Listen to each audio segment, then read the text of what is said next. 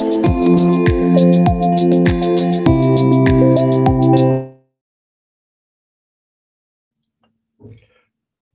morning, everybody. I think uh, we're now ready to start. Uh, I'm Councillor Ian Hudspeth, Chairman of the Local Government Association Community Wellbeing Board and leader of Oxfordshire County Council. I'm pleased to welcome you to the second day of the Local Government Association and Association of Directors of Public Health Public Health Conference. Yesterday was a very sobering day for all of us as we reflected on the impact of the pandemic on our communities a year on from the first lockdown. I'd like to add my personal thanks to all those who've worked tirelessly to protect us and keep us safe over the last 12 months, from care home staff to public health and community nurses to the directors of public health leading their local responses. It has been a privilege to see how the local system pulls together in a time of crisis. However, we must stay vigilant of the threats posed by new variants, as well as now focusing on improving the health and quality of life for our communities, especially in relation to health inequalities. Key to doing so will be the strengthening the relationship and com communication channels between national and local government. I'm therefore very pleased to welcome this morning Secretary of State for Health and Social Care, the Right Honourable Matt Hancock. Good morning.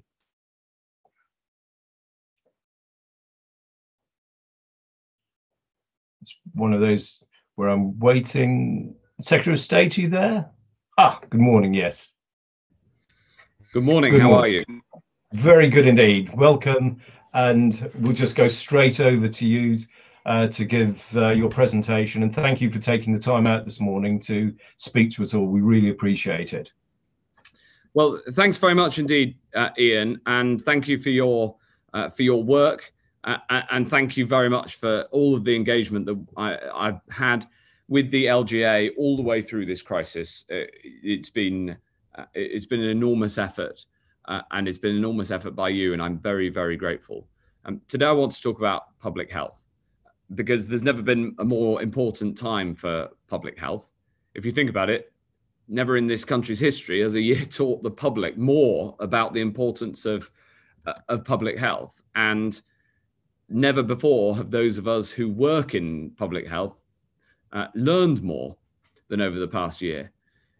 I'm so proud of what public health teams have done across the uk you've never worked harder and some say that after this pandemic we must learn the lessons for the future and of course we must but why wait until after the pandemic? The truth is that we've been learning throughout. From the first moment that PHE colleagues last January developed a test for COVID 19 before it was even called COVID 19, from the moment we brought in colleagues with private sector experience alongside academic, clinical, government experience at local and national level to build a testing infrastructure and then to build a vaccination program, both on a scale never seen before. And we've also learned a huge amount about the vital importance of the health family all working together as one big team, breaking down silos, working as a system. Today, I want to talk about the future of our public health system and our reforms to build on this work and make changes from what we've learned over the past year. At the heart of our public health reforms is the insight that it is critical in good times and in bad times, to have an institution whose sole job is to protect the nation from external threats to our health.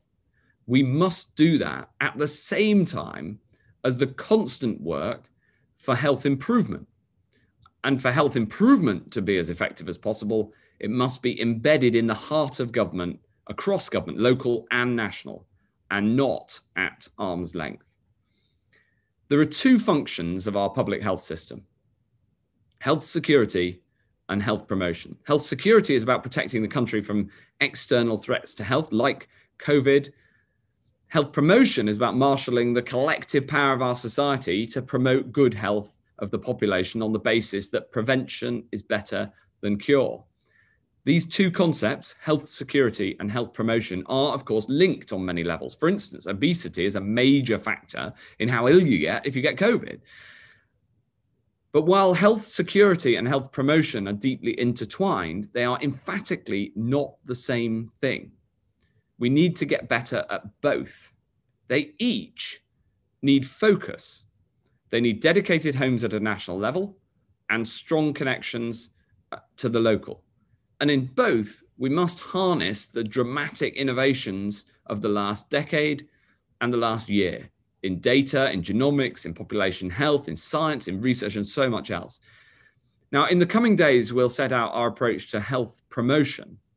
Today, I want to set out our approach to health security. We've made huge strides in how we do this in the last year. At the start of the crisis, we didn't have a significant diagnostics capability in this country, so we built one. We did have a world leading capability in genomics, and we've built on it further. Uh, the analytical capability of the Joint Biosecurity Centre, which builds on the expertise of Public Health England, has developed, in my view, into the best analytical resource I've worked with in a decade as a minister. And of course, the vaccines program has been a template of how governments can get things done, harnessing science, enterprise, and the NHS to develop, manufacture, and deploy at huge scale and speed. So, in all of this and in the reforms that I'm setting out today, we build on strong foundations I'm so proud of what the team have achieved together over the past year across PHE, NHS Test and Trace, the JBC, local and national government, directors of public health. We will now build on these foundations a dedicated, mission driven, national institution for health security that brings together all these capabilities in our ability to respond with total focus on the prevention and response to pandemics, communicable diseases, and external threats to health. On the 1st of April, so next week, we will formally establish the new UK Health Security Agency. UKHSA, as it'll be known, will be this country's permanent standing capacity to plan, prevent, and respond to external threats to health. UKHSA will bring together our capabilities in this area from the scientific excellence embodied by the likes of Dr. Susan Hopkins and her amazing colleagues in clinical public health to the extraordinary capability that NHS Test and Trace has built, which Dido Harding has led so effectively over the last nine months, and the JBC with that analytical brilliance. I want everybody at UKHSA at all levels to wake up every day with a zeal to plan for the next pandemic. That sort of focus is vital. It's vital when the crisis is live, like now. But in a way, that's the easy bit. The hard bit is keeping that focus in the good times too, when there's no pandemic on the horizon. As part of this planning, UKHSA will work with partners around the world and lead the UK's global contribution to health security research. Next, UKHSA will be tasked to prevent external threats to health, deploying the full might of our analytic and genomic capability on infectious diseases, holding responsibility for our health security capabilities at Porton Down and Colindale and elsewhere, preparing for and preventing external threats to health like bioterrorism. In all, helping to cast a protective shield over the nation's health. Third, UKHSA will respond to the threats we face with speed and scale, and these are critical. As we saw at the start of last year, when a new pathogen mutates, it can spread dangerously fast. Even after years without a new major public health threat, UKHSA must be ready, not just to do the science, but then to respond at unbelievable pace. This is what NHS Test and Trace has done and this is what we've learned from the vaccine program too.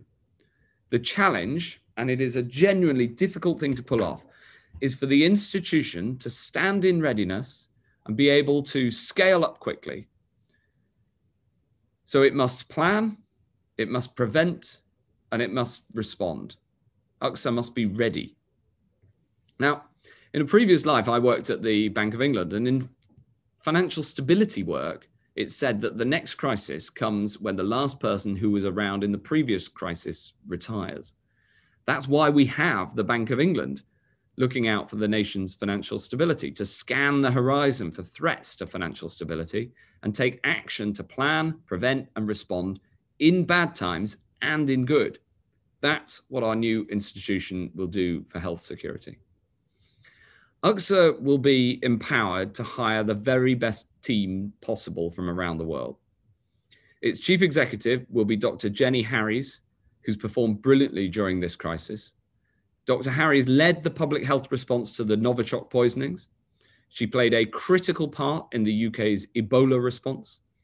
And last year, as Deputy Chief Medical Officer, she's delivered the shielding program, which is both incredibly sensitive and has been superbly delivered. Dr. Harries distinguished career as both a public health physician and crucially as a public health leader make her impeccably qualified for this role. I'm also delighted that Ian Peters has accepted the position as UKHSA's chair.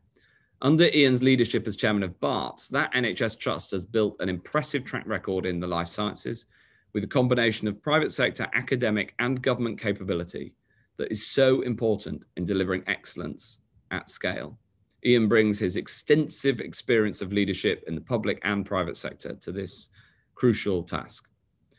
I'm looking forward very much to working with them both. And I want to say a word about how UKHSA will operate and what its culture will be. Because UKHSA's task is to be vigilant, yes, and to engage in scientific excellence. But it must also be open, dynamic, and confident and reach out to work with partners wherever it finds them. This isn't just an agency, its job is to provide professional leadership in the field here and around the world. General Stanley McChrystal once said, Anybody who's ever played or watched sports knows that instinctive, cooperative adaptability is essential to high performing teams. And that is what UKHSA will be all about. UKHSA will be an essential partner for us all, leading on health security for the whole of the United Kingdom collaborating with devolved administrations and the public health agencies for Scotland, Wales, and Northern Ireland, and crucially, working in partnership with directors of public health and our partners in local government. These deep connections to the local level are vital because if the last year has taught us anything, it's that a local problem has never been more likely to become a global problem, and a global problem has never been more likely to become a local problem. UKHSA forms part of the new health landscape that's taking shape around us, where the gravity is shifting and decisions about health are being taken closer to the people they affect. That is reflected in all the reforms that we're undertaking across the department. The Health and Care White Paper, which is essentially about integrating the NHS and social care, our mental health white paper, these public health reforms, and our forthcoming new data strategy, all of these are about making sure that decisions are taken as close to the people who they affect. Because in all of these, collaborative engagement with local government is absolutely critical. Through the pandemic, you've shown how you can break down traditional barriers and achieve remarkable things, like, for instance, the Everybody In campaign, where you've worked hand in hand with the NHS to support 37,000 vulnerable people and rough sleepers or the innovative new ways that local resilience fora have brought the NHS and other blue light partners together to coordinate responses to local outbreaks. You've been at the forefront of our national effort. You've been tested but never beaten, locked but never down. And any change in how we do public health must be done alongside and with the people who know their citizens best, who work at the local level. Take our proposals for the Health and Care Bill, for example. A central change will be the introduction of statutory integrated care systems, or ICSs. The idea builds on what's already happening in many parts of the country, where ICSs have shown the way forward, demonstrating how we can integrate those responsibilities which look up to the NHS and those responsibilities that look up to local government. And if further inspiration were needed, few things have demonstrated the power of what we can achieve when we work together as a system than our vaccine rollout, where we've broken down all sorts of silos to vaccinate over half the population in just over 100 days. That is the spirit that our new ICSs will work in, getting local authorities and the NHS working together, taking decisions together, and delivering services together. Crucially, ICSs will not only cater to the health and care needs of their populations, but support people to stay healthy in the first place. This prevention agenda is critical, with directors of public health playing an ever greater role as champions of health in their communities on everything from action on smoking and alcohol misuse to tackling obesity and much more besides. And this is how we put the power of the NHS budget behind the prevention agenda by empowering the ICS locally to support the integration of NHS and local authority responsibilities to promote good health and give them the space to work together to deliver on that promise.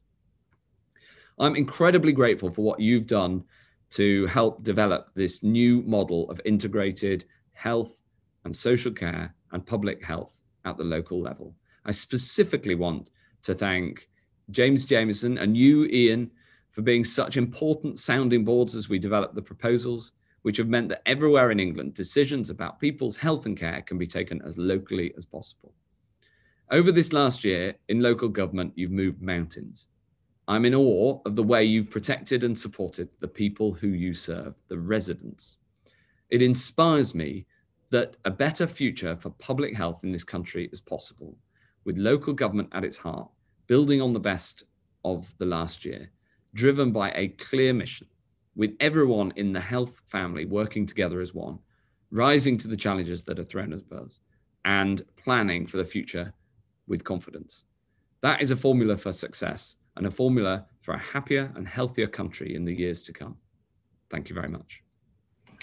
Thank you very much, Secretary of State, and thank you for those uh, kind words. I think it's so important we hear the uh, breaking down of silos and actually everybody working together, and that's so important. Local government has been, as you say, at the forefront of it, and but it's actually seen those breakdown of silos, and more importantly, what we've got to make sure is we don't lose that as we move forward and actually retain that balance. And of course, health inequalities is a massive agenda for us. And at the local level, we're ready to help and work with everybody to see where we can uh, remove those inequalities, which actually we've seen the effect they have on people during the pandemic. Well, I've got a few questions for you, if you don't mind. Um, it's uh, the first one is the response and recovery recovery from any health protection incident is carried out first and foremost at the local level, as you say. How will the proposals genuinely ensure local first, as promoted in the narrative document? Will that be different this time? Do you want me to just do one question at a time or three in a group? Well, I think this is such an important question. Why don't we why don't we uh, address it head on? Yeah. Um, the new UK Health Security Agency uh, must work with an integration with the director of public health at a local level. That is the only way for this to work effectively. Uh, now, in responding to an incident, when it's done well, that is exactly what happens. You have the, the national agency uh, with the, uh, the clout, sometimes the specialist expertise, uh, some of the facilities, especially for the uh, very high end response. But you need the local understanding, and information. Um, I, I, can't think of anybody better than uh, Dr. Harries to to lead and get make sure that we get the culture of the new UKHSA right uh, from the start. A, a, really good example of this was the response to Novichok, uh, where the local uh, authority and local director of public health uh, played a critical role alongside uh, the national agency. Mm. Now, we've also seen that in the pandemic. Uh, it's obviously been uh, been you know the, the biggest thing that has happened to anybody in public health in their career. Um, but where the responses work best has been when the local and the national has been pulling together.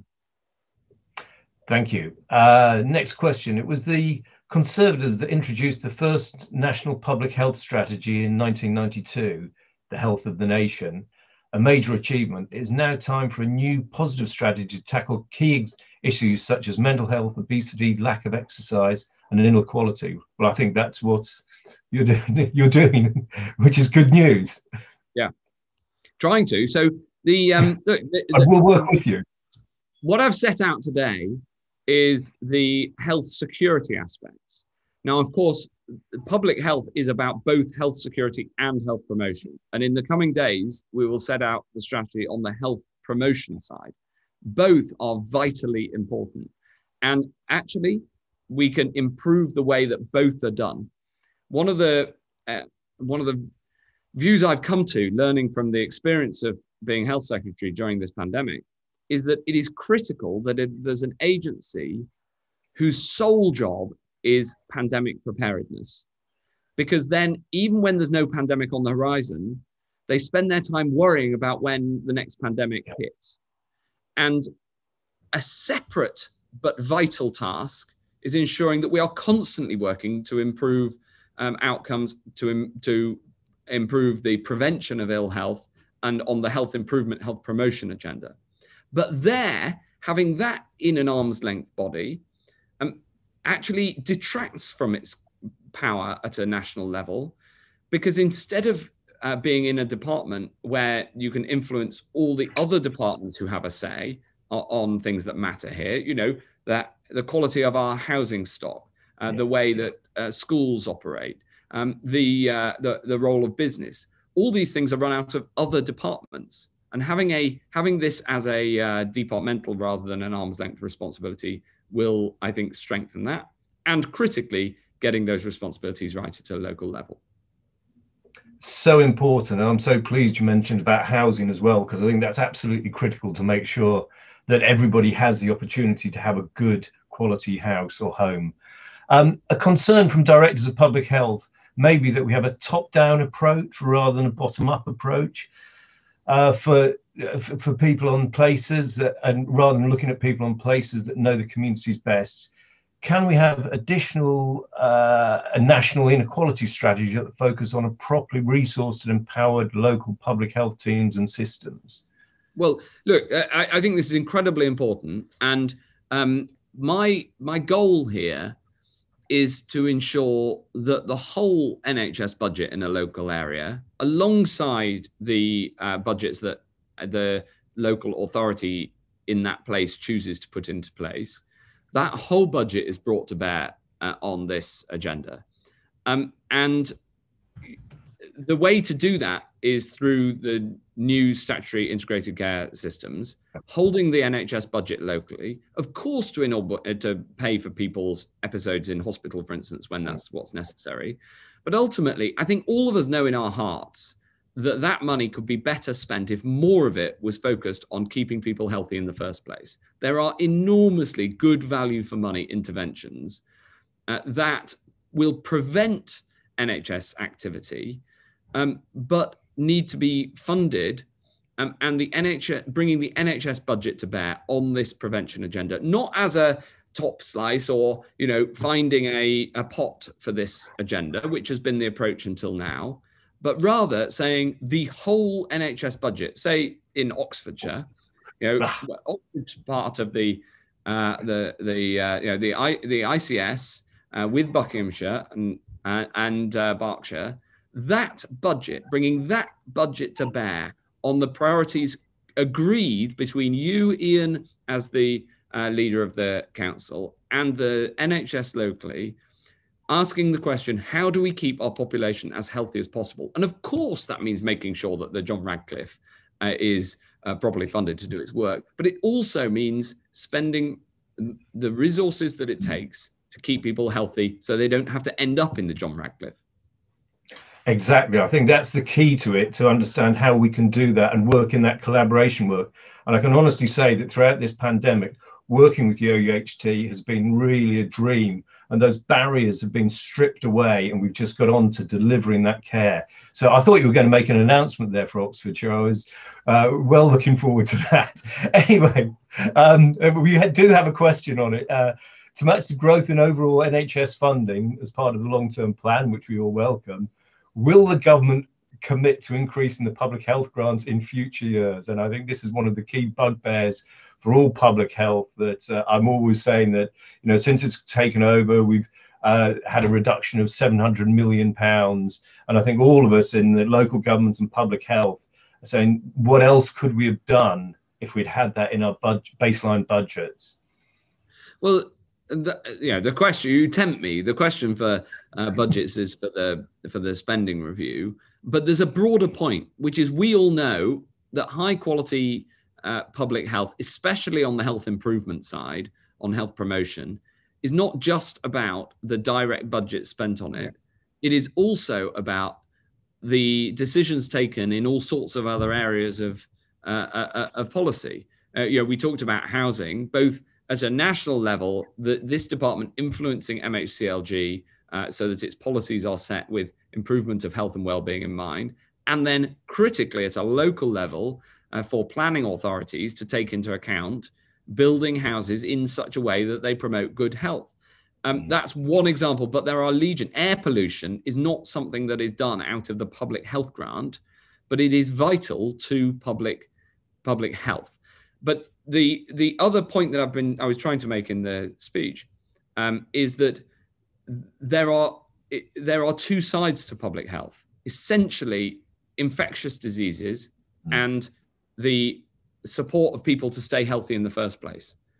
And the policy response to each, although there is an overlap, of course there is, the policy response needs to be different because otherwise the danger is that when there isn't a pandemic on the horizon, naturally the focus goes onto their health and promotion, health improvement side, because that's, you know, we need focus there all the time. That's an ongoing uh, uh, challenge always. And we mustn't lose the focus on pandemic preparedness. And that is why we're establishing UKHSA as a new national institution. So there is always somebody who worries in the middle of the night about the next pandemic, both when both when we're in the middle of one and when one may come in the years ahead. And that person will be Jenny Harries. It's uh, so good to hear that because being prepared, as you say, is so vital to make sure that we have everything, and also still having that local connection will be really important as well. Um, are you able to say there's always these rumours about public health returning back to the NHS? Are you able to give any uh, answer to that question, or is it going to and remain firm with local government? Because we really do appreciate working with local uh, public health and local governments. And actually, it's that cross um, departmental work that's so important that having the um, directors of public health talking about housing, talking about the inequalities, and that's so good and that's such a useful mechanism for both public health and local government. Uh, yes, it, it, clearly it's the it, look. It's the integration of the working together that's critical, and we've discussed this many times. You know, the the the need for um, those services that are rightly accountable to local voters and local taxpayers, and those services which are rightly accountable to national uh, um, uh, democratic institutions, uh, taxpayers, and um, uh, and voters, making sure there's the integration, even though the formal accountabilities go in different directions. That is that is critical. Excellent. Thank you very much. Obviously, local resilience forums have been in place and they've been uh, crucial uh, during the recent uh, pandemic. Uh, and the, obviously, with the partnership across a wide range of local partners, what will the relationship between local resilience forums and UKHSA be? Well, the um, uh, the crux of this will be the director of public health um, because the director of public health have done an amazing job in this crisis, um, and um, it, it, I, I, want to ensure that there is a um, that there is an a, an easy um, and successful um, integration between the national and the local. Lots of people are asking this question in the chat. Mm. ultimately, through the uh, professional accountability of uh, uh, of directors of public health. So directors of public health are rightly part, part of the leadership of the council, uh, but also need to ensure that they dock in with UKHSA. And ultimately, on the clinical side, that professional leadership will look to uh, look to Jenny Harries and the medical director of UKHSA, as well as looking to the council to make sure that there is the join up. So getting that right is is absolutely critical. Excellent. Thank you. Uh, I've got time for one last question, I think. we got, yep. Uh, oh, yes, it's actually picking up on that. Uh, will the new agency have a regional footprint? And of course, this is, if there is a regional footprint, which regional footprint will it be? Because will it be a local government or a health footprint or even a police footprint? Uh, well, in my view, there's only one um, set of regions in England. Um, uh, uh, they're the they're the regions, um, uh, and um, I you know I think co-terminosity will help us all a lot, um, both in terms of integrated care systems uh, and in at a regional level as well. Um, it, it, you know, it, it's a challenge when the regional boundaries have been drawn slightly differently for different slightly for different services. Mm-hmm. Um, I think that's a that would be a useful bit of uh, tidying up. Uh, but the um, uh, but yes, making sure that there is um, that there is that proper integration between the local system and the national level uh, is important. Um, but ultimately, it's at you know in the in the health service, it's at system level that we need to look to uh, leadership uh, in the future um, coterminous wherever possible with uh, local authority boundaries. Um, sometimes that means that the system in health um, is a bit bigger than an upper tier mm. local authority, um, but that's because that's what works. So, for instance, Manchester has nine local authorities, uh, but one health system, and I wouldn't want to uh, I wouldn't want to change that. So. Um, that there's detailed work there to make sure those um, those boundaries are got exactly right. Uh, the statutory ICSs will come into force in April next year. Um, that is our that is our goal. So we've got uh, a year or so to make sure that all of that works at a local level. Uh, my, uh, you know, but I'm also cognizant of the fact that, especially over the last year, and in particular over the vaccination program, such strong local relationships have been built up, probably better than any time I've been in government. Um, and that is something that we need to cherish and, and, and build on because it's not just about the dry, you know, government architecture. It's about the relationships. Uh, that's you know, it's when there is when the relationships are good that the that we can really deliver for the to, for the citizens who we serve. Absolutely, and I think that the one thing we talk about boundaries, but of course we know only too well that actually pandemics don't respect boundaries. So we can't just be, we've got to be very careful to make sure that we don't sort of get into our own silo and we do have that cross working as well. Um, what about, uh, it, obviously, if it's a UK agency, what does it mean about public health in Wales, Scotland, and Northern Ireland? Are they going to be reorganised, or is that down to the devolved? No, so there's no there's no proposed changes there. I, I, mean, Public Health England was in a way misnamed because it has both UK and England responsibilities, in the same way that the UK government has both England and UK responsibilities. Um, and so it, it, this is more appropriate. We had we had as a working title we were going to call um, this agency uh, the NIHP. Um, the problem with that was that um, the, the the word national actually made things more rather than less confused, um, mm-hmm. and um, uh, uh, uh, and. Uh, and so we've, you know, we've uh, we've taken soundings and updated the the name for its formal institution from the first of April, um, and um, this um, and and the the the collaborative working with Public Health Wales, Public Health Scotland and the public health institutions in Northern Ireland are absolutely uh, critical to getting this right. There is no proposed change of responsibilities there, uh, but the name makes it clear that just like the UK government, some of its responsibilities are UK wide, some of its responsibilities are uh, for England. Uh, of course, you know, ultimately, if we step back, we live on an archipelago. Communicable diseases do not respect administrative boundaries. Uh, uh, we should take advantage of the fact as much as we can that we are an island in helping to protect against communicable uh, diseases. Uh, we have to look out for the health security of the entire United Kingdom and take responsibility for that. But at the same time, health is rightly and properly devolved. And so, working very closely between the UK government, the governments in the three devolved uh, administrations is an incredibly important part of getting this right, in the same way as working from the UK government for England with uh, local authorities um, and getting those relationships right. All of that is very, very important to pull this off. Thank you. We've got time for one more question. More question. Go for it, Ian. Okay, that's uh, core targets. Are they going to have very narrow health inequalities, and uh, rather than sort of the local ones? And I would quote Oxfordshire as having uh, that sort of issue. And what are we going to have the funding? Is it going to be across government interdepartmental strategy, or is it solely going to be on the health?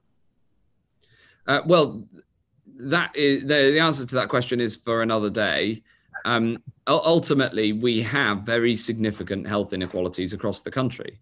Um, yeah. And uh, we also have health inequalities within uh, uh, geography. Uh, you know, Oxfordshire has one of the best um, uh, healthy life expectancy outcomes, um, mm-hmm. but that's at an Oxfordshire level. Within Oxfordshire, there are also geographic variations. My view is that you know leveling up health outcomes is is the most important leveling up of all. Fantastic. That's so good to hear because we're so aware of that in Oxfordshire that I know the perception is from outside, but actually there's some areas that we really and we've got to target those, and it's that targeting to make sure that we raise uh, level up everybody. It's really important. Well, thank you very much, Secretary of State, for your time this morning. We really appreciate it, and particularly the announcement. That's really good news to hear. And local governments and the directors of public health will be looking forward to working to actually make sure we have a healthier population so that Jenny Harries perhaps she's worrying about something needn't happen because we'll be taking care of the public health ourselves. Thank you very much indeed. Thanks very much. Thank you. Thank you, everybody. Now that uh, brings us to the end of that uh, particular session, and uh, now uh, I'm equally delighted uh, to uh, announce that we've now got uh, Baroness uh, Dido Harding, who's going to give a presentation and then also take some questions as well. And uh, it, it, does have to leave by 11 o'clock. I know, and thank you very much, Baroness, for coming along today. We really appreciate it, and it's so good of you to find time. So I'll go straight over to you. Thank you. Thanks very much, Ian, and um, and thank you for, for having me. I thought, um, following as I am from the Secretary of State's announcement about the future for health protection, I thought I'd use this this time, if that's okay, to reflect a bit on what um, we've learned in the last year and encourage everyone in the chat and in the Q&A to, to share their thoughts as well. Um, if we could move on to the, the next slide.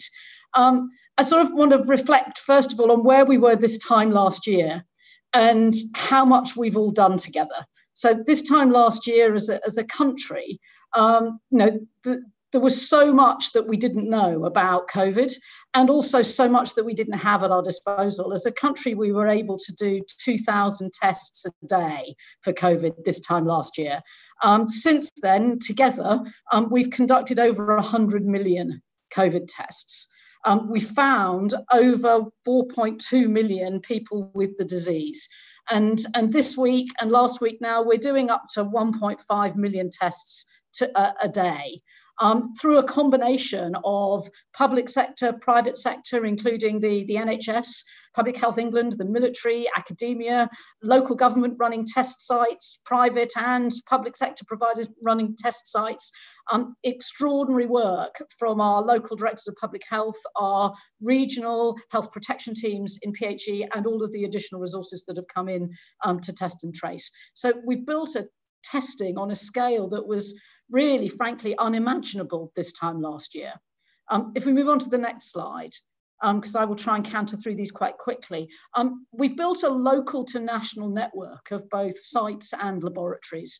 Laboratory capacity for 750,000 tests a day. Um, and as you can see, this is a, a four nations, um, a four nations laboratory network um, that, that covers both academia, Glasgow, uh, the University of Glasgow, who um, developed one of those early labs, the third sector, um, in Milton Keynes, NHS laboratories now in Newcastle, in Plymouth and in Brantesbridge, um, private sector laboratories uh, through Randox in Northern Ireland and in, in Newport, for example.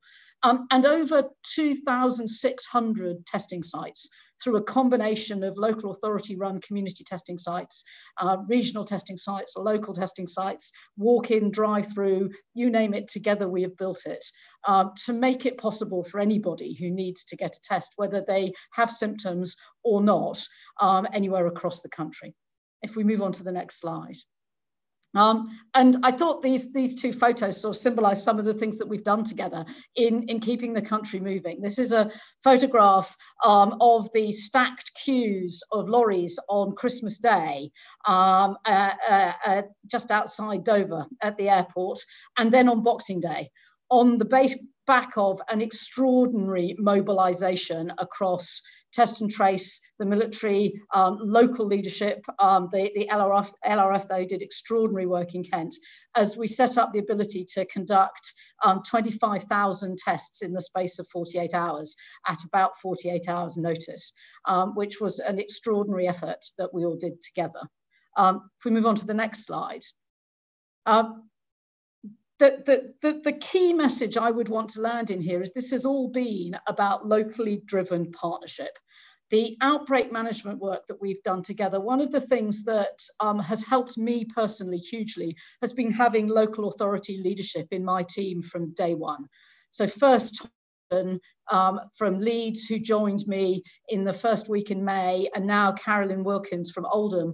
Both have been um, in the NHS Test and Trace leadership team throughout um, and have been instrumental in helping us shape our approach to be one of local and national partnership. We now have 313 out of 314 um, local contact tracing partnerships up and running across the country. Um, we've just published last week uh, the updated contain framework, which like its um, first um, incarnation last summer, is fundamentally based on subsidiarity, the principle that it is so important to do everything that we possibly can at a local level and only escalate where absolutely necessary. Um, and together we are continuing to innovate. So um, the, the, the, the, map and the country shows you a number of different pilots that are currently ongoing across the country with different local authorities. We've got 26 areas in our local O pilot, or local zero, sorry, looking to start local contact tracing instantly that we get the um, index case testing positive and working in parallel for digital um, as well as, as, as national teams.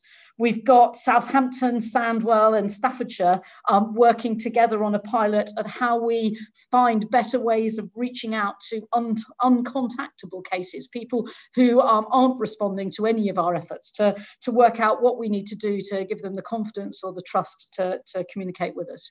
Manchester and Newcastle both got phenomenally impressive local contact tracing hubs serving a number of local authorities. And we have a number of, of trials now kicking off looking at how we can better support people in isolation. Uh, we also have phenomenal work that's happening on um, rapid response teams to be able to deploy really urgently if we identify variants of concern, which probably takes us on to, to the next slide um, if we could. Um, we're adapting as the virus does.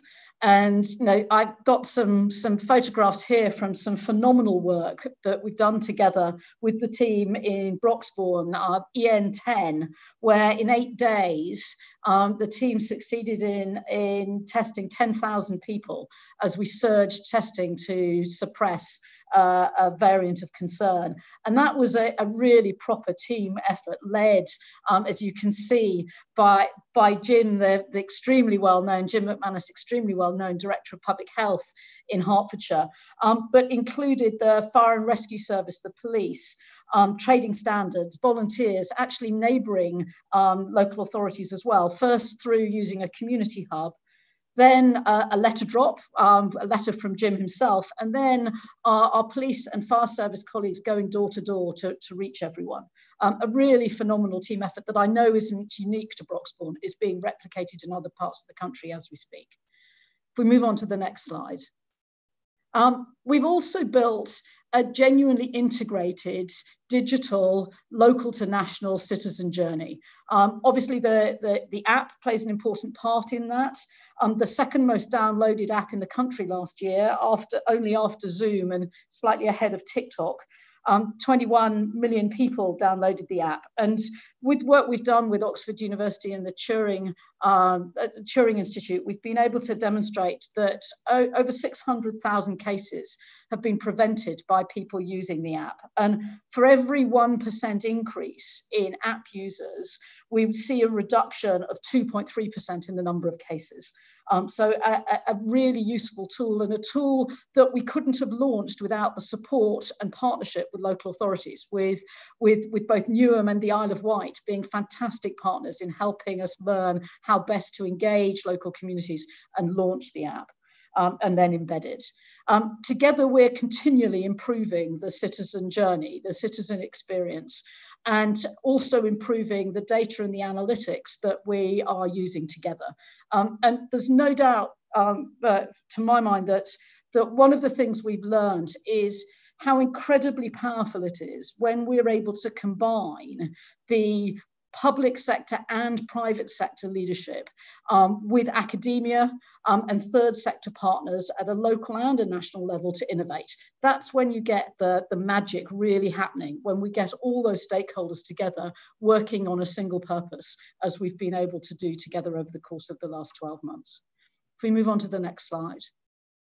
Um, and this is an example of some of the innovation that we've been doing together, uh, the development and roll, rollout of wastewater analysis, uh, which I, I, think is going to be something that is going to stand us in tremendously um, good stead for the very long term as a non-intrusive way of being able to um, really identify at very detailed levels um, where infectious diseases may be starting to emerge. Um, and, and this has absolutely been the product of a partnership, uh, a partnership with academia, with the business sector, with the public sector, local and national. If we move on to the next slide. Um, and, and clearly, um, it's been hugely important to make sure that our local authorities have been, um, uh, have been effectively funded. Over the course of the last year, 1.6 billion pounds of funding um, has come from test and trace to local authorities through the Contain Outbreak Management Fund. And from April, a further 400 million pounds will be available through that fund. Allocations uh, will be based on the COVID-19 relative needs formula. Um, use of this formula maps well against areas of enduring transmission. Um, and you know, additional funding will be going direct um, so local districts can access new funding quickly. And, and I think um, I'm very mindful wanting to create enough time for questions. If we quickly go to the next slide, I wanted to dwell on this um, a little bit um, because I think COVID really has highlighted and exacerbated the existing inequalities, um, both health inequalities and overall inequalities in our country. And I saw from the Secretary of State speech, there were a number of questions about this. Uh, and I think it's so important as we come out of lockdown um, that together we are working on how we do really reach in to all communities in across the country um, to really tackle um, these huge inequalities that have been exposed by COVID. Um, and, and on the slide, I've got two examples, some fantastic work that's been done in Wolverhampton, um, led by the Guru Nanak Sikh um, Gurdwara, um, which is a multi-faith community testing site um, where um, uh, leaders from the faith groups in Wolverhampton got together to run a community testing site, which proved extremely effective at encouraging people from the ethnic minority communities in Wolverhampton to come forward and get tested and, and, and identified a number of people who weren't aware that they had the disease, but were sort of, uh, unfortunately, as a result, at risk of infecting their friends, families, and, and colleagues. So a hugely effective initiative, which I know is being replicated by faith communities across the country, um, you know, very much led and sparked by local authorities. And uh, the, the, the, the, Zoom picture on the right is a round table actually I did last week with a number of different community groups. I very much recognize that this is not only about ethnic minorities, there are a number of excluded groups across the country um, where it's really important that together we build a health protection and a health security system that really genuinely meets everyone's needs. Um, and you know, I think we've seen that laid bare in the last year. And the work that we're doing together on this now, I think will prove an extremely helpful um, springboard for Jenny Harries and Ian Peters as they take this forward into the UK uh, Health Security Agency. which takes me to my final slide. Um, if we could move on, just some thoughts on the joint legacy that together we lead. Uh, obviously, yesterday at midday, as we all stepped back and, and reflected, the over 111,000 excess deaths in the year, which is a sad and, and sort of humbling thought. And, you know, obviously all of our hearts, I know, will go out to every friend and family who, who lost a, loved one in the course of the last year. Um, but we have learned a lot together, and it is hugely important, I think, in their memory that we take forward what we've learned together into the future health protection system. Um, and I offer up sort of four key things. Um, the first is that we have built the ability to respond in real scale. And you know, the first priority for, for UKHSA as it sets up will be um, still the fight against COVID. And we have now together built this scale ability to test, trace, and support people in isolation, and the ability to adapt that scale response locally and nationally as we come out of lockdown. And it's hugely important that we all work together on that.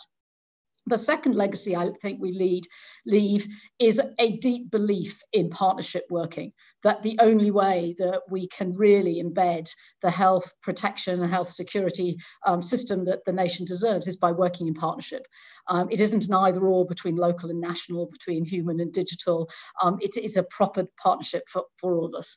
Um, the third piece is um, how um, strong the, the UK can be in science-led innovation the, the, the triple helix, the, the overlap, when we get the overlap between the UK's extraordinary uh, academic strength in science and, and health our life sciences commercial sector and our brilliant NHS and public health system, all put together and ultimately enabled by local and national government. That science led innovation has enabled us to, to be at the forefront of the uh, vaccination development and rollout.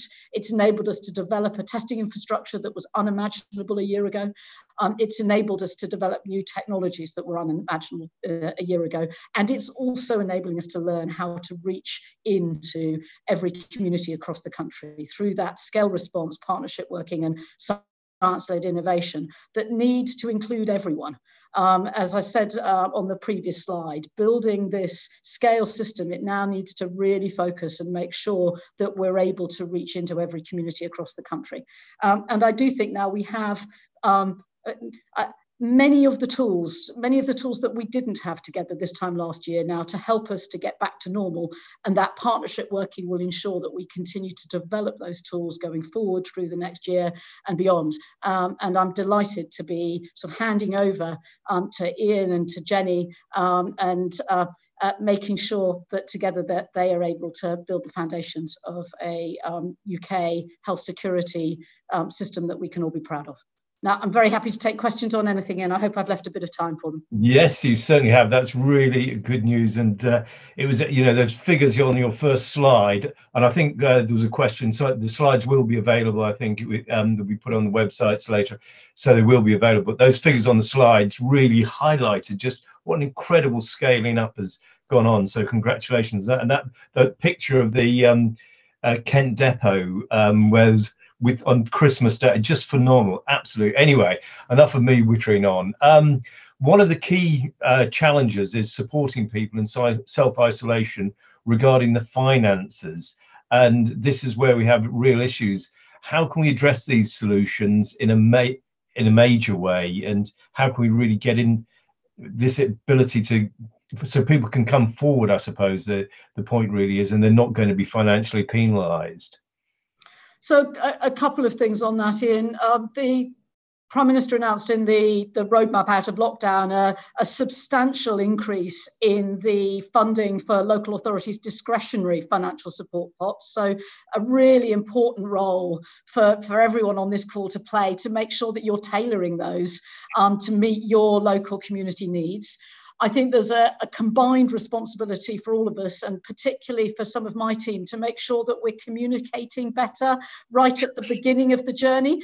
I think a lot of times um, the, the groups I've been talking to recently across the country are, are unaware of what is available, both financial and non-financial support, so they don't even start the journey. They don't come forward for testing at all because they're scared that there isn't anything. So I, I, think there is a lot that we can do um, to, to make it clearer and simpler for everyone in the country that there is financial support available for people who really need it. And there's also that there's non-financial support as well to help you collect prescriptions or get food delivered or help with urgent caring responsibilities you have. Um, but I also think we need to work together on piloting more innovative ways. Um, and I'm really delighted that we are starting now to kick off a number of pilots with a number of, of, of, of local authorities, I'm sure, on this call to look at ways that we can target support for people in you know, multi generational households where self isolation physically just is impossible and finding a solution that really genuinely works, um, for example. Also, for households where maybe there are you know, eight or 10 people who are all working, um, all of whom fearful that they might lose their job, which means that no one comes forward and that actually self isolation for one person in the household doesn't practically work for everyone else. So there are a number of different pilots where I think we can target resources to, to make a really big difference. Absolutely fantastic. Uh, the next one, uh, how are you ensuring lived experience versus choices uh, voice is part of the thinking to really ensure delivery meets the needs of the marginalized communities and then really can reduce health inequalities. I think this is a theme we've been addressing because we're everybody's passionate about it, and we, you know, but that's a really key to how do we the needs of those marginalised communities.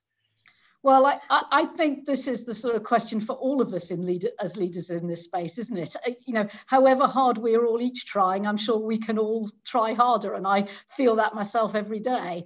Um, so what we're doing within um, within NHS Test and Trace right now is we're looking to embed um, local leaders in, in all of our design work, so genuinely believing in that principle of co-design. So we have a number of directors of public health working in all of our developments um, to make sure that we're hearing their voices really clearly. We're, we're making sure that we hear citizen voices regularly in our in our reviews. So, you know, uh, one of the things that we we have is this scale system where we're in touch with a lot of people all of the time. So, making sure that the people designing and developing um, improved systems are actually listening directly to what people are saying on the when they call um, and the feedback they're giving us, um, and then reaching out. So, in the last week or so so, and I, I believe this very you know personally you have to reach out at, a senior level and then your teams will follow yeah. so I, i've done a couple of really eye-opening listening groups in the last two weeks with leaders of third sector organizations um, one devoted to faith leaders and one devoted to different um, organizations, so sort of refugees, um, uh, taxi drivers who we know have been very badly yeah. affected, for example, yeah. a number of different groups like that, um, both crisis and shelter were involved in it as well. And, and hearing directly, there just isn't a substitute in my book for hearing directly from, from people who are affected. And I, I, I just don't think we can try hard enough on that. I think we've got to keep doing it as we build up these services. What, what we've got that we didn't have have a year ago is this scale system. And I think, as, as I said, I think the prize is learning how to now target it and adapt it, which is going to require us to really live that principle of subsidiarity and to, to give more and more freedom um, and ability to sort of control the assets to, to all of you. Yes, and of course the thing is that when marginalised communities, we talk about Zoom and everything, but of course that does mean we've got to have good broadband and more importantly the hardware for people to actually be using it. Otherwise, how do we contact those? So that's it's a really important question. Um, what, what some of the what are the key learning points of the national test and trace system. Where do you think? Oh, this is a. Tra- where did we get it right and wrong? Crikey, that we could be here all day on that one. Oh, only on listening where you got it right. But uh, how are we going to support local teams for the responsibility that now uh, local O is becoming centre place? Um, if I answer that last question first, um, I, I think uh, so. So the local zero moving more and more as as um, as the number of positive cases goes down, God willing, um, yeah. I, I, definitely see a, a world where we're shifting proportionately more and more of the contact tracing to being led and owned locally. And we maintain the sort of national surge capacity um, if, you know, God forbid, we need it. Um, and and uh, your questioner rightly points to it's important that we manage that transition together carefully mm. because this is the forgive my commercial language i spent 10 years as a food retailer and this is the most short life of short life products it's really important that we reach people quickly and, yeah. and, and because the disease spreads exponentially, when things change and you get an outbreak, um, you suddenly see a surge very, very quickly. So it's really important that we've got the local to national and the sort of self-help routes in place so that if a local team does see a sudden surge, they're not overwhelmed and they don't suddenly yeah. fail to reach people fast enough. So that's yeah. why I see this as it isn't a, I think it's a false choice to think, is this local or is this national? Mm. This works by being an integrated system of partnership. And so part of the reason for piloting the local zero approach is to make sure that we've got those escalation and de-escalation pathways yeah. right so that we're not just suddenly handing the problem over and saying over to you. Thank you. Sometimes it feels like that in local government, must admit. But there we are. I'm not going to go down that route. But but also the digital divide. I mean, the, obviously the success of the um, uh, NHS COVID app, which 21 million, that's fantastic downloads. But of course, there's people who don't have that. How, how do you think we can uh, improve that inequality and not sort of almost have a different group of society not aware of they're coming in contact with people?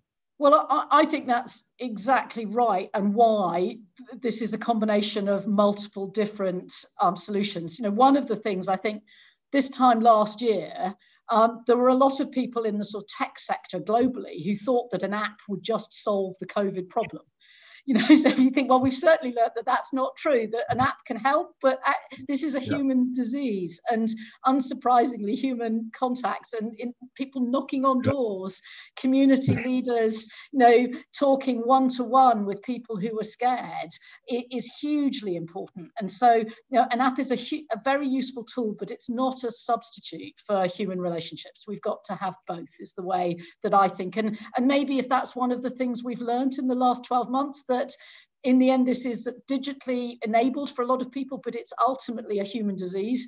And I think the way you reach in to a, not all, I mean, some of our communities who are not engaging are very highly digitally literate, yeah. but but others are not. And so, you know, I spent eight years running a broadband business, as, as many on this call will know, and and and I care passionately about closing that digital divide. But I also know that the world's a human one, and the the role of our local health protection teams and our local DP PHs and, and all of the different support services that only local authorities can really bring to bear uh, are an essential component if we're going to make this a service that works for everyone. Thank you. That's really reassuring. And thank you so much for your time. We've slightly overrun, so I do apologize uh, for wherever you're supposed to be next. But thank you so much indeed. Appreciate all the work and good luck for the future. Thank you very much. Thanks Bye. all. Bye. Okay, uh, so we now move on to the panel.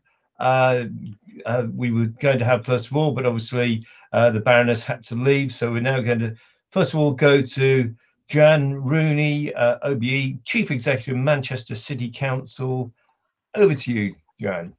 Thank you. Uh, thank you. Good morning, everybody. Um, uh, let, let, me just start by saying uh, a huge thank you to all of you. Um, you I, I'm in awe of all of the public health teams up and down the country and the role that you've played.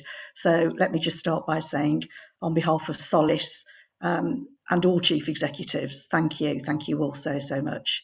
Um, as, as we've already reflected on this morning, uh, COVID's clearly been the greatest challenge of our profession in local government, whichever role you were in. Um, and public health provided the glue between the national response and the community response. And the public health teams have been at the, the very heart of our resilience forums, uh, emergency response, but you're also still very much at the heart of the recovery.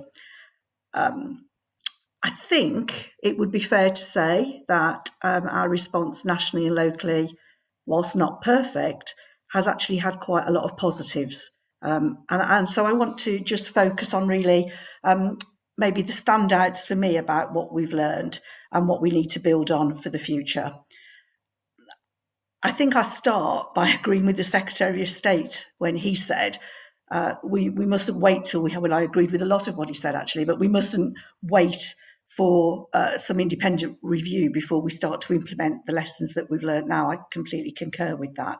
Um, and the, the, the legacy of COVID that is loud and has been repeated by every speaker so far is that the stark reality of inequality ha- has been demonstrated and shown. And therefore, there is a focus and a renewed energy, I think, uh, to start to tackle this. And I think that legacy for all of us is about the coming together the partnerships that have been created at a local level, not necessarily the structures. We just got on and did stuff, didn't we? Um, reflecting Manchester, we trebled the rate of our hospital discharges within a week just by people getting in a room together, uh, something we'd struggled with for 12 months um, because of structures and systems. And yet we just stepped up and did it. Now we have to hold on to that, stepping up and just doing it. Um, I guess we did that because we had a national framework. Uh, we also had uh, packages of uh, financial support which enabled us to do things like commission the voluntary and community sector at pace quickly to get things in place to, to link into our communities and provide the much needed uh, boots on the ground. Um, so I think we did some great stuff there.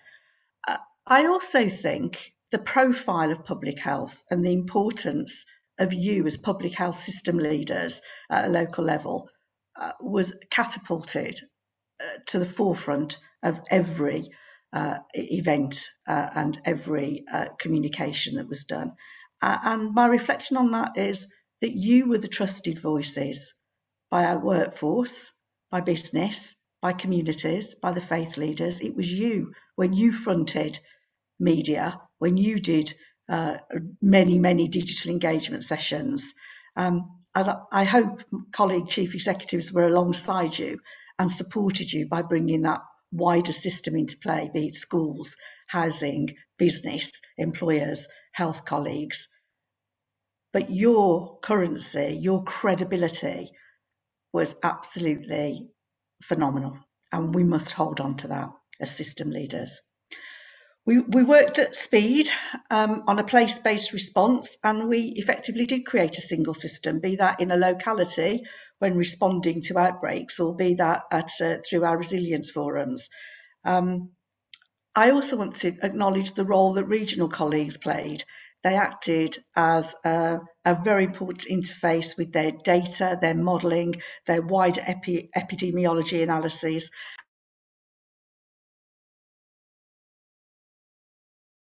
Oh, you've flicked onto mute. You must have knocked your mute button as you've turned sorry, the page there. Sorry, I think I've you, you just said epidemiology, which I was impressed with.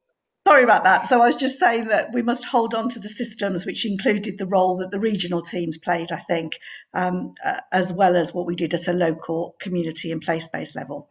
A um, couple of standouts for me, if I can just talk about Manchester, I think, um, and the learnings that we had there, and there's loads to go through. Um, I thought the role of digital played was very important, and I agreed with what Dido was saying there that whilst an app won't sort it, um, a digital technical response uh, alongside the, um, the, the public health teams is something that we should hold on to. Um, I was reflecting on Operation Eagle. We did about 10,000 tests in Manchester, in two parts of Manchester, where we knew through local intelligence the variety of languages that were spoken. Through Operation Eagle testing, we actually discovered, if I can just take the example of our Ghanaian community, who were very reluctant to engage and were very vaccine hesitant. By talking to them, we discovered it was because they were worried about what questions would be asked of them. They were expecting there to be questions around immigration status. We are the people who connect in to those communities at that basic level to build that trust. I think the dashboard and the data, the way that was all made public, was so important. Um, it was used by local media, it was used in every source. We had that single version of truth and that single narrative, uh, and we must hold on to that. Uh, we outperformed track and trace um, because we know people, our local voices, our local accents, our ability to engage with the people that we were talking through meant that all of us outperformed the tracing and the contact part of track and trace. Um, and of course, we immediately responded with the speed of PPE distribution just because we knew how to get the right kit to the right place quickly. I'll come back to that point about your consistent, loud voice and your trusted voice, and how we take that forward in terms of the challenge that we now have for equality and inequality. For me, this was your greatest strength and one that we must hold on to.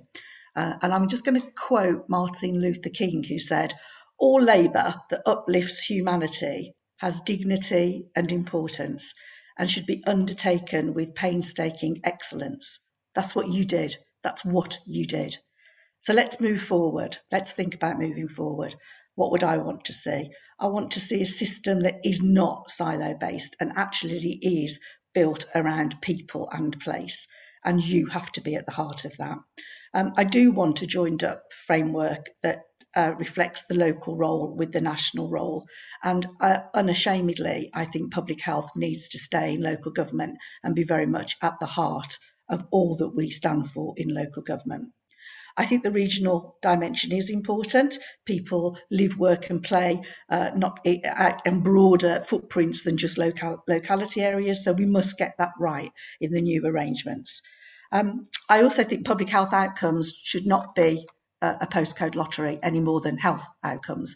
Uh, and medical treatments should be a postcode lottery. So, what are we going to do uh, moving forward then? Uh, the relentless focus on inequality. To do that, you need a stable long term financial settlement, and we need to continue to push for that. Uh, you need prevention to be recognised as a crucial part of NHS recovery and that that work on prevention and early intervention is as much as returning NHS functions back to business as usual. And our learning around our communities and the behaviours and what affects the greatest change uh, for population health has to be at the heart of any system reconfiguration. Um, I hope the engagement with government continues in the way that we've had to date, not necessarily through an emergency uh, situation, but certainly ongoing engagement.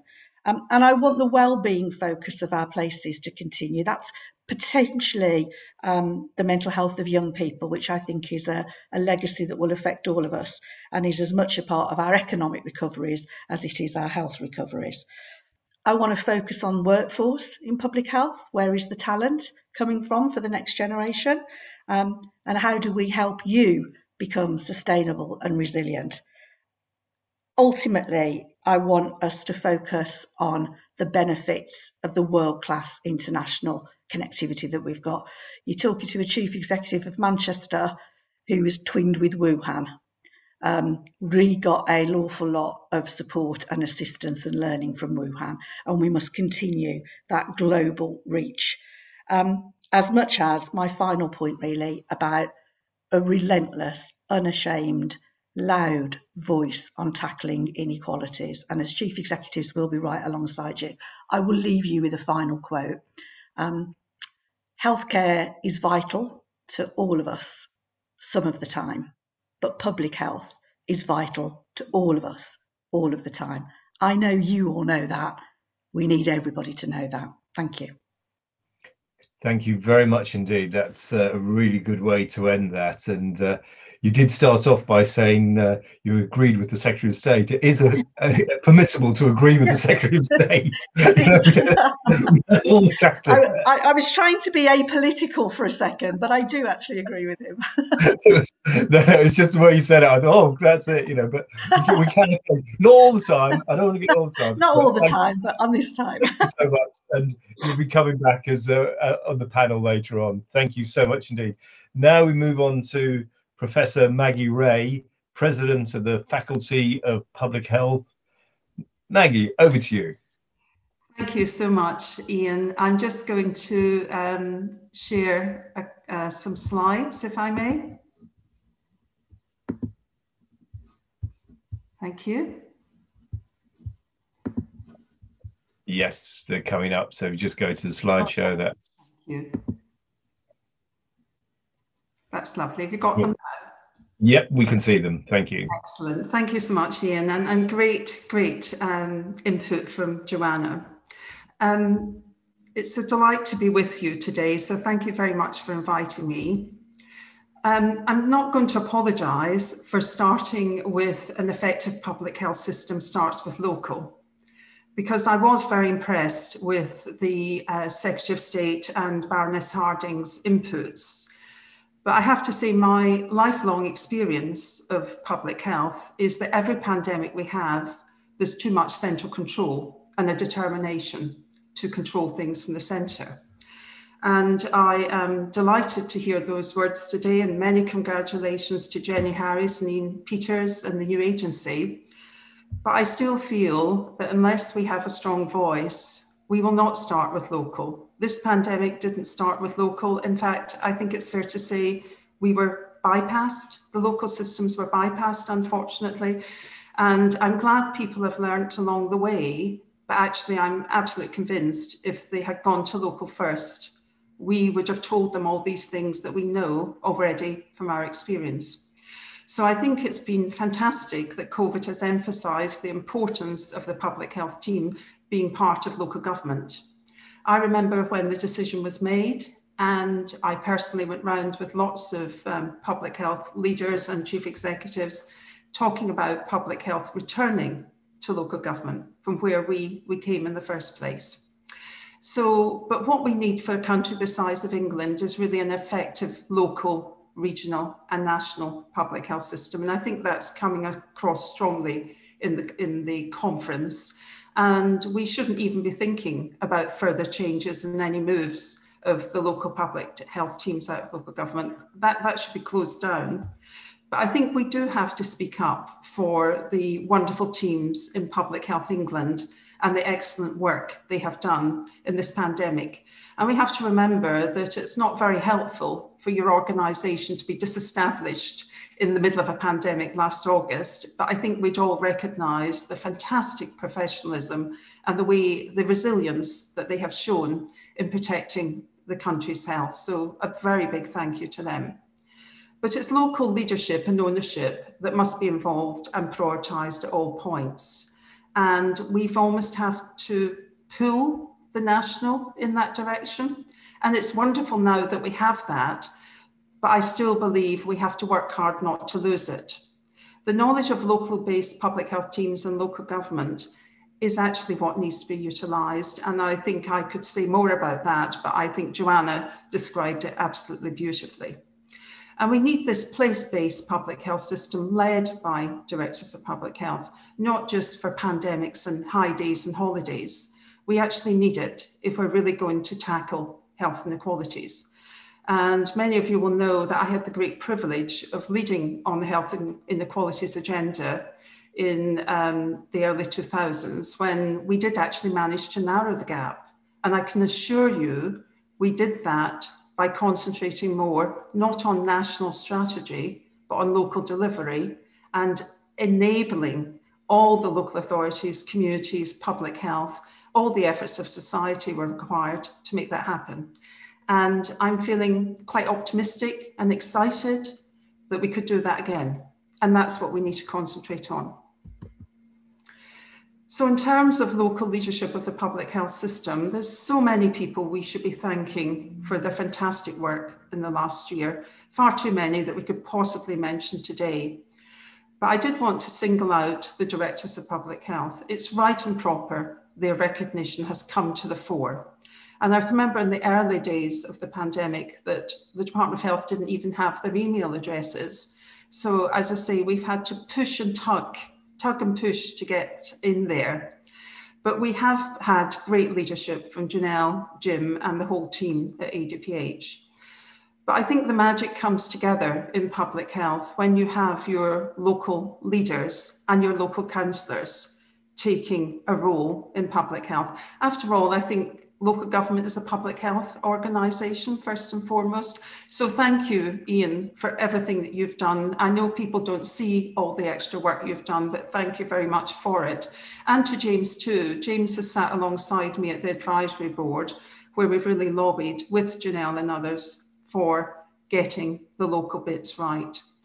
And I think it was good that Baroness Harding did acknowledge the difference that Tom Riordan made when he came into the system. I think that's when we did uh, see changes.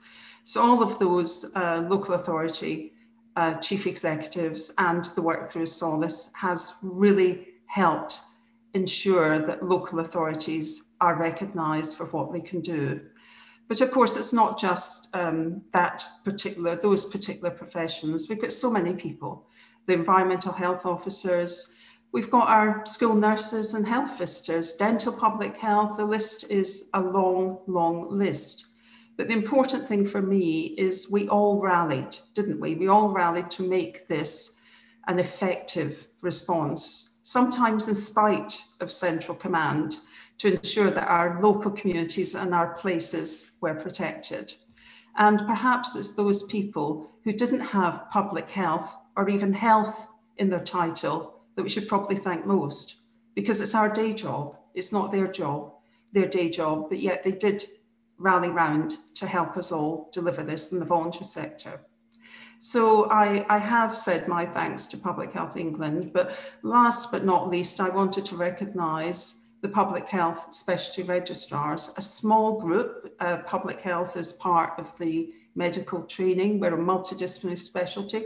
It's a very, very small number of individuals. But if any of you have worked with public health registrars through this pandemic, I'm sure you would agree with me that they've been absolutely awesome. They've stood up, they've set up test and trace centres, they've really demonstrated the excellent skills and training that they've taken part in. And there's nothing like learning on the job. There's nothing like a pandemic to help your help improve your public health skills. So uh, this has led me to guiding principles, and I thought we should be looking forward now. And Ian, I hope you don't mind, but I've invented another principle this morning, having listened to the Secretary of State. So I think the most important principle is that we must listen to our local leaders and public health specialists. We must hardwire this cooperation. This cooperation has resulted because of a crisis. And I think we know we're pretty good in a crisis in, in England, aren't we? But in actual fact, how do we build that when we're not in a crisis? And the ICS and the involvement with the ICS systems will be crucial to this. And we must tackle the challenges proposed by the separation of the health protection function.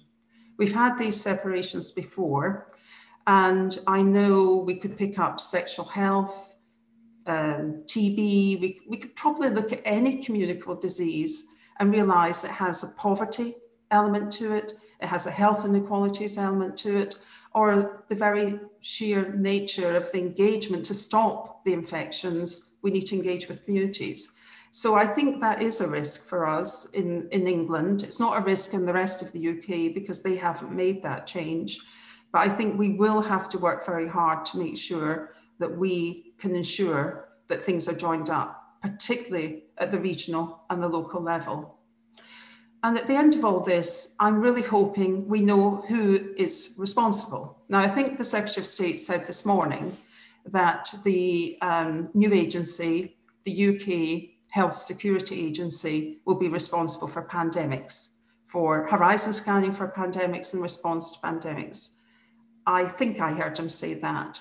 But of course, the devil's in the detail and what role we're all playing. In 2012, when the changes were made, we were told that local directors of public health and their teams were going to assure health protection and assure screening and IMS. And I think we'd all agree that local government and directors of public health and their teams have done an awful lot more than sitting back and assuring. They've got stuck in and responded. So I, I don't think it's quite right yet, and I think we have some work to do. The other principle I wanted to add, having listened to the Secretary of State today, is that we should have a percentage of the ICS budget allocated for prevention. That, that doesn't mean to say we shouldn't be putting in um, bids to business cases, bids to the spending round, because I think, Ian, I was incredibly pleased when you spoke up and described the amount of money that's been taken out of public health. And yes, just you think what we could have done with that if we'd had that money. So I will continue to fight with LGA and other colleagues, ADPH, to make the case for that money coming back in. But if we even got a tiny, not even 1% of the NHS budget, think what a difference we could make to health inequalities. And so just my last slide, I think for me, you'll see I'm making a reference back to Michael Marmot. And I think that's because for me, public health is all about health inequalities. That's really what public health is all about. And I think we've seen the local authorities play a key role in this pandemic. We're not going to get the vaccination rates uptake correct in the right communities without local government and the local teams. We must ensure that that's not just for this pandemic because there's an awful lot of other immunisation and screening programs that are free free in our country, but are not taken up. We know that the solution to that is local.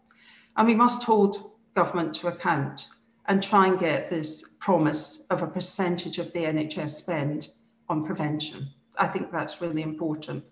And to join with you in asking for basically our money back, the money that was taken out. Where we could do with more than that, but even getting the money that was taken out back would help. And last but not least, to ensure that we have enough of the specialist workforce going forward. We're not a big specialty and we're not the only people. Public health is a team sport. It's not something that public health specialists can do on their own. Um, I think we're humble enough to recognise that. But we really need public health specialists. I think we've proven our worth and to make sure that we have the registrars into the future. And those registrars want to work in local government, but they may also want to work in the new agency or they may want to work in academia. It's very important that these silos, the potential silos for the future, don't become boundaries and barriers. And I'm sure, like Jenny Harries, we will have people that want to work across the system. And important to acknowledge that Jenny has been a director of public health twice so I think it is good for us to move through the system and get different experiences. So thank you, Ian. That was, uh, I'll hand back to you now. That's what I wanted to present today. Thank you.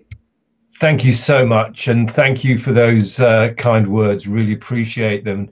I think it's interesting that you mentioned about local and national, and it's actually local and national, it's complementing each other rather than competing against each other. And that's the key to it. It's not all one way or the other because both have their specialities and it's that complementary. But thank you very much and thank you for all you've done. Um, okay, if we now move on to uh, Dr.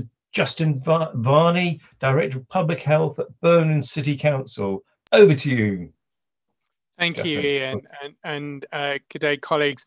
Um, and as always, when you come at last, everyone steals your thunder, and there are so many things that others have said that I think have resonated uh, with my experience as a director of public health and and also in the questions and the comments that people are saying about some of those tensions that we've experienced.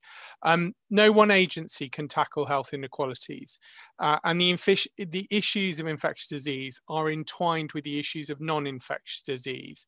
Um, and we've seen through the COVID pandemic, this has come back again and again, whether it's been the impact of obesity on COVID mortality or the increased case rates in workers who are unable to work from home during the waves of the pandemic. Health improvement and health protection are intertwined and interconnected, and it is essential as we move into the, the next phase of our public health system that that strong connection uh, remains and is part of the, the discourse and the development the future public health system has to be based on trust and mutual respect between national, regional, and local partners.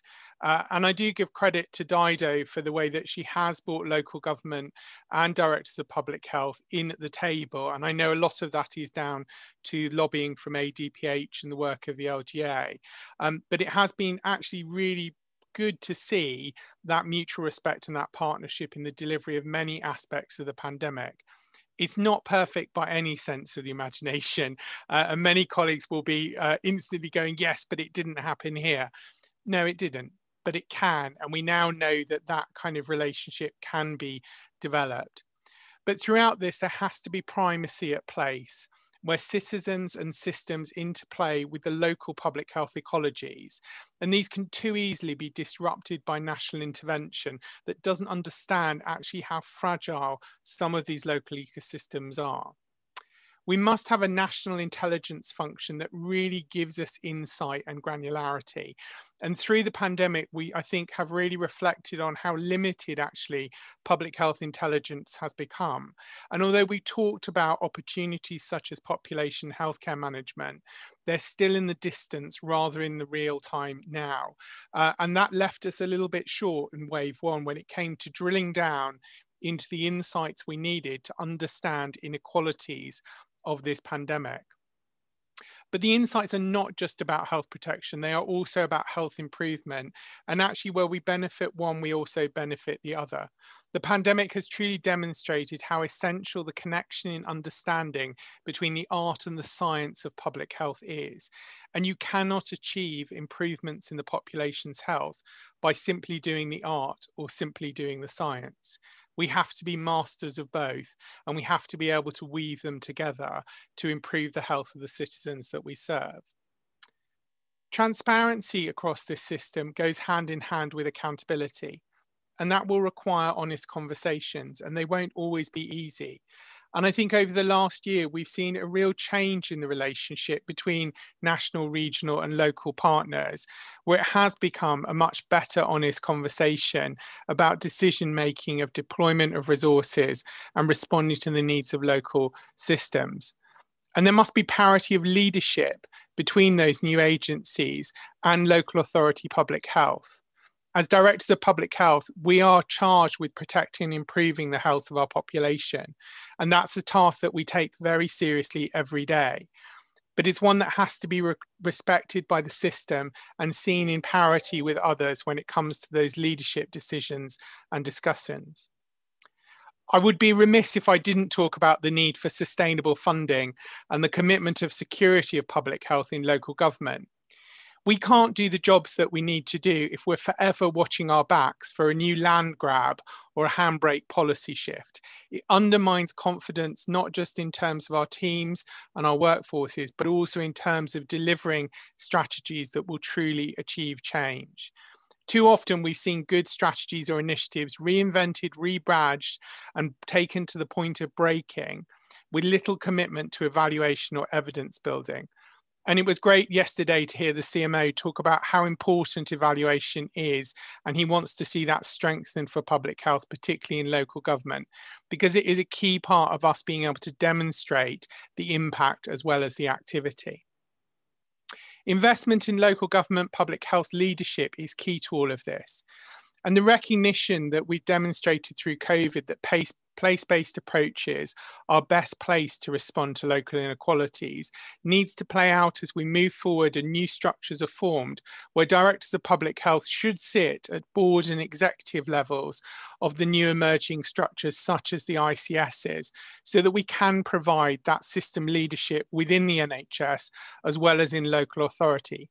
That doesn't mean taking us out of local government, but it does mean giving us parity and leadership within those executive structures so that we're able to influence from within the tent as well as outside the tent. But the relationship with the NHS is not the only relationship that's important when it comes to tackling inequalities. We all know that at a grassroots level in communities, working with education, businesses, the voluntary and community sector, the faith sector, these are all strongest at place level. And the pandemic's demonstrated how essential it is that we have a public health system that has strong engagement and that that is resourced and supported so that when we need it at the times of most crisis, it can deliver and we don't have to build it back from scratch. That many of us have had to spend so much time over the last year rebuilding those connections that had been lost through repeated rounds of cutting and slicing of the public health capacity and the public health family it would be remiss of me if I didn't give a shout out to environmental public health uh, and our environmental health officers that have stood by us through the pandemic. Some of us within the structures of public health within local government, many of them without. But actually, their resource and their capacity with local government has not been protected in the way that public health has at least had some protection. And it's important as we move through a new system and are looking to the future that that is integrated into protecting the public health system moving forward. Place needs to be recognizable on geography. And this doesn't mean, however, that we ignore communities of identity and interest. And it's demonstrated over the last year actually how limited our understanding is of these communities we only have to look at the, the conversations we've had about ethnic inequalities to show how poorly served we had been and had done uh, in terms of addressing these inequalities prior to COVID. Too often we'd use the euphemistic phrase of BAME to bundle together individual communities of identity and culture under four letters that completely failed to understand or recognize the nuance and the differences between people from the Caribbean uh, and people from Eastern Europe. We cannot continue that. And we have a long way to go when it comes to understanding these inequalities and developing a truly culturally competent response. And this requires a partnership between national and local, in which national agencies support us much more strongly in understanding the evidence base and the knowledge of what works and investing in it. Finally, I would say that the essence of this that Maggie alluded to at the end is that we must have fluid movement between national, regional, and local systems. The pandemic has demonstrated the value of having DPHs at the heart of Whitehall policy set setting, and the task force teams have demonstrated the value of central officials coming to the front line. I remember from my own experience at PHE how colleagues at DWP were surprised that I wanted to spend time in a Job Centre Plus when trying to inform the creation of the health and work uh, policy and strategy and how unusual it is actually to see that interplay and that coming out from the offices into communities to truly understand. But that's something we need to keep going and move forward in the new system. And part of that is about supporting fluid careers, not just at registrar level, but for consultants and directors in public health to be able to move across boundaries without financial detriment or career stagnation. And to support this, there must be parity of terms and conditions across the system so we truly deliver a public health system. The pandemic has demonstrated what a public health system can achieve. So now it's important to all of us that we truly deliver a system that starts at place, is supported by regional and national partners in a landscape of respect, partnership, and honest conversations we have the opportunity at the moment to shape a better future for public health. And we talk in our communities about building back better and building a different approach that removes some of the structural inequalities that we had before the COVID pandemic. It is resonant on all of us to stand up to that for our own system and our own professional groups and create a public health system that truly is an ecology of change and truly delivers the aspirations that I and many others have seen report after report reiterate the need to reduce inequalities in this country and truly deliver sustainable change so that everyone can achieve their potential in life. And since quotes are the flavour of the day, I'll close today with a quote from Coretta Scott King, who said, The greatness of a community is most accurately measured by the compassionate actions of its members. Over the last year, I have seen more compassion and partnership in the public health system than at any time in my entire career, either as a doctor in clinical medicine or when I came into public health. Let's use this and build on it to a better future for all of us. Thank you. Thank you very much indeed, and uh, particularly picking up on that uh, parity of esteem is so important, and those conditions, so that we're, we're it's not just about the overall funding; it's about the culture there. If we could ask everybody to return to the to the panel format, that'd be brilliant. We've got some questions, uh, which uh, good to see. Uh, first one: COVID-19 exposed and inflamed decades-old inequalities what can we learn from this and what do we want to see from the new system? I think we've touched on this already a little bit, but is there anything anybody would like to just come in there in particular? What there we are, Justin, straight in. so I I would say that one of the big things I think we can learn from is that we need to get the data right. We need the transparency and the visibility you know, and and we talk about inequalities and we refer to data that is usually several years old and actually i think the key space that we need to move forward in is how do we get real-time data that we can cut and, and explore and examine by different demographic groups? You know we have had decades in which there have been uh, requirements for the NHS to record demographic data properly, and it still hasn't been achieved. Um, so I think there is a call to action for all of us to look at the data that we're collecting in local government, in local NHS, and really say, will we be blind again to inequalities if this happens, or are we going to move this moment forward by truly opening our eyes to what the data is telling us? And then we can build from that to a better future. Thank you. Uh, Maggie or Joanne, do you want to?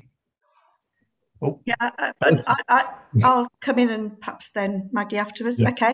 So, yeah, um, sure.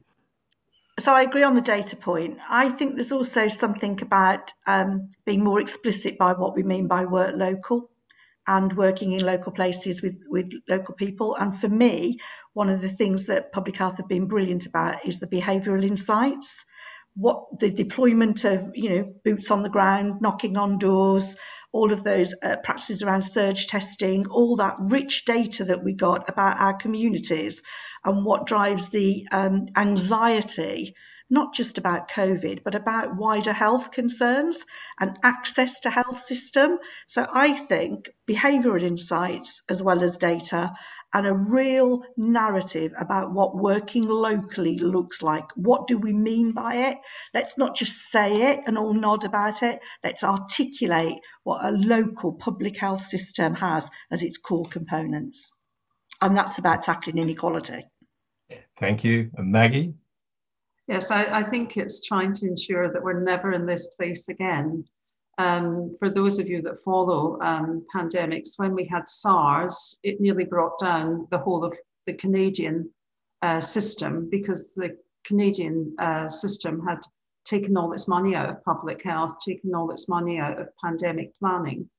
And um, I mean, when we transferred public health into local government, I could never have believed that, that, that we would have a cut to public health because we'd always protected the public health budget. So I think that's a really important lesson, building on what I agree wholeheartedly with Justine, Justin and, and Joanna. But actually, we cannot get into this mess again because it leaves us in such a bad place to start something off. Now that we've arrived, that we're working together, things are more integrated, let's build on that. But it has to involve getting the fair share of the resources for the local. We haven't got that yet. It is, and and I think equally from the local government point of view, making those really difficult decisions about where to put the money. And we all know that situation where everybody says, "Well, why don't you do this?" and you wouldn't have to spend that. But of course, we need the funding in the first place, and it's a very brave decision to take. I can assure you, uh, we've got to make. Anyway, uh, we'll won't go there. But uh, I've got a couple of questions now. I'll take together. A de novo test and trace system was needed in England could we learn from more successful countries who've had test and trace systems ready to scale up? And then what has been the key learning from this pandemic and will need to apply to the next one? I don't know whether we partly answered that a little bit already, but uh, does anybody want to come in there? Shall I kick off? I, I, in terms of I think the test and trace system, um, we've got to remember the testing bit was the bit that held us back. Um, and as Dido mentioned, we just didn't have the testing capacity, but I think that is changing and building. Um, so I think we would be in a different position. The tracing capacity we've always had. You know, we've done outbreak tracing multiple times before, not necessarily at this scale, but we knew how to do it. Um, so I think we were actually in a reasonable position, but the testing bit was the the, the gap for us. Um, I think in terms of the the learning space uh, and what we could take forward. I mean, I talked a bit about this before, but I do think that engagement with communities and particularly with ethnicity and the conversation about ethnicity has completely changed in the last year. Um, from where we've ever been before as public health. I would love to see this extended to other protected characteristics and for us to have the same level of passion and engagement about disability and the inequalities there. And I think it's quite interesting how little um, reaction there has been to the inequalities of deaths uh, and the impact of COVID on disabled people compared to the um, the narrative and the discourse around the impact on ethnicity. So I think we should build on that and continue to get much more granular in our conversations and our approaches to inequalities. Okay. Maggie, did you want to come in there or? Yes, um, thank you. Just um, just building on that. Um, I mean, I I think we need to really really to look at the test and trace. I'd be very worried if we continued with the test and trace. The fact it doesn't include test trace the word isolate isn't in the test and trace. Mm. And the bit that was most successful was the regional to local teams. They did so much better performance wise than anything else. And I think the, what is it, up to now, 37 billion, 50 billion, it's, it's just eye watering sums of money. And I think we could do it more effectively. If you look to Germany, they built on their public health local system, they didn't bypass it. I think it needs to be looked at. And I was really heartened to see that Baroness Harding had uh, shown the slide about wastewater monitoring, because actually I think testing's really about who's got time to go and get tests some of the time and isn't the most effective surveillance method when you get to the point where we're not dealing with massive amounts of outbreaks. So I think that's where I'm hoping we'll get some of the local money from. Uh, Ian. Thank you. There's a, there's a problem. Everybody always gives me a, a quick nudge and everything, but there we are. Um, Joanne, did you want to say anything? Just really quickly, and I think it's looking forwards. I, I think um, the apps here to stay, and um, the kind of every young person's got a mobile phone. Well, everybody's got a mobile phone, haven't they? And so I would like to see us working on getting apps that are really connected uh, better into uh, our local public health systems. And I'm thinking particularly around hospitality sector and as we open up our economy and venues and where the app's going to feature uh, in kind of the future. And I'd like to see more attention and more discussion around how we develop the app to support local economies uh, uh, and uh, local public health strategies. Um, I also think we should learn globally. I think there is a lot to learn. Uh, Maggie mentioned Germany. I think Israel we've got a lot we could learn from Israel in terms of technology uh, and the link to public health. So, um, and my final point would be, uh, I think I, I said it when I was speaking. Really, for me, levelling up needs to be as much about public health as it needs to be about infrastructure investment. And I, I still think we need to make the case that it's not all just about revenue support for public health. There is some major capital investments required, and it may well be in the technology side. Absolutely, and uh, you know that's uh, some well-made points there. Um, uh, right, what will business as usual look like when we when all the national systems stand down? Oh, looking into the future, there we are. That's a, I think it probably look a lot different to what it was before the pandemic. I certainly think that. But uh, does anybody have? I mean, hopefully, we'll when the national systems stand down, we'll have the core infrastructure ourselves to actually be have that ability to scale up and actually address those problems and points that we've uh, so often made, and particularly, and uh, you picked up on it, Jan, as we move into the next phase and coming out in the hospitality industry, how are we going to actually engage with that? Does anybody say anything else? Or yep, Maggie. Yes, thank you. I mean, I in all the pandemics and major incidents, including Novichok, that I've been involved in, it's been the local government um, group that has led response, recovery. And I think that's right, you know, and I hope now we will see um, and recognise that local government and local public health have um, an incredible role in really trying to, um, you know, we've got the interest of government in levelling up. We don't always have that. We have it now, and we have to maximise that. And I think that really allows us to get back to some of the root causes of, of why we are where we are in the first place. And I think to try and get um, national investments, I think Joanne's absolutely right to get excited about a, a, digital world. This is where health is going. We heard that from the Secretary of State. And I think it would be wonderful to see some of those investments, particularly in some of the more deprived areas of the mm. country. I think that would be fantastic. But I think local government, and I commend um, the strategy, Ian, that you and Paul Ogden, I was determined to get Paul Ogden's name into the conversation today. Um, well done. But to um, to ensure that you know you've laid out a good strategy for us, and I think we need to build on that and make it happen. Okay, thank you. Yeah. Okay. Uh, and the next question, clarity, responsibility to ensuring meaningful overview and scrutiny. Some of that's based on national guidance uh, for the role of health overview and scrutiny committees, wellbeing boards. But where does the function of overview and scrutiny have a role in shaping this new world of ICS and health security? I mean, that's always a bit big challenge in local governments. Uh, where does it? Where does it? Anybody? Shall I? Well, I think yeah. I'll, I'll, it falls on the chief executive, as always, to explain uh, the value of scrutiny, and I, am happy to do so. I mean, I think scrutiny is an in, incredibly important element of the creation of ICSs, and uh, that isn't just about overview and uh, of strategy and performance and de- uh, development. I, for me, scrutiny plays a crucial role in bringing voices to the shaping of plans and uh, future going uh, future strategies moving forward. And um, I was just reflecting that uh, because Manchester's part of Greater Manchester and we've had a devolved health uh, system uh, in operation for a number of years. And I have to say, it's uh, colleagues I think are at the conference, and you know, take my hat off to the work we've done at Greater Manchester level and the pooling of public health resources and the deployment and the expertise uh, and the talent that's at Greater Manchester has been a real uh, strength, I think, in terms of our response. And I think the